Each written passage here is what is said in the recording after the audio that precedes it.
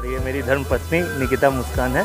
हम लोग यहाँ पर कल ही आए और कल आके हम लोग डल झील पूरा घूमे। हाउस हाउस बोट में हम लोग ठहरे शिकारे से पूरे। हम लोगों ने करीब यहाँ आठ पॉइंट थे उन आठों पॉइंट का राइड राइड लिया। काफ़ी अच्छा लगा यहाँ का मौसम, यहाँ के लोग और ख़ासकर जो हमारे साथ जो शिकार वाले थे, वो बहुत ही अच्छा उनका व्यवहार था। हमें लगा कि सही में जन्नत में ही आए हैं।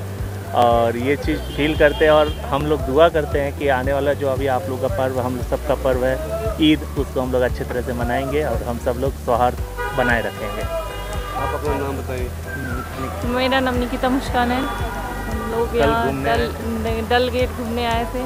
बहुत अच्छा लगा घूम के। बहुत अच्छा मौसम है सभी को। ईद की सभी मुबारक लोगों को ईद की मुबारक। हम लोग भी बाहर निकलेंगे और आप लोग घूमेंगे। घूमेंगे फिरेंगे खाएँगे सब लोग साथ में।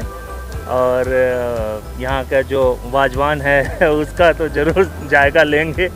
उसकी ज़रूरी वो वही स्पेशली हम लोग उसको बोले कि इसको किसी पर्व के दिन ही खाए तो सबके लिए अच्छा भी लगेगा। और मुझे भी यहाँ का चावल का डिश होता है उसमें सात आठ तरह के मीट होते हैं और बहुत टेस्टी होता है। तो हमें ये बहुत अच्छा लगेगा। हम उसी का इंतज़ार कर रहे हैं।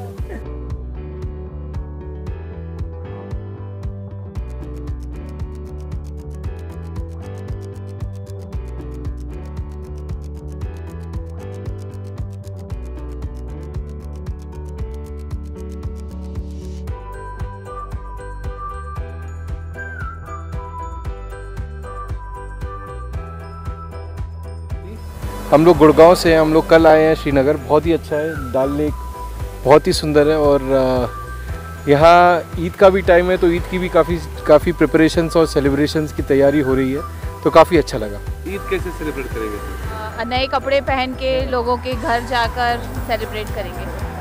Thank you ma'am happy Eid happy Eid happy Eid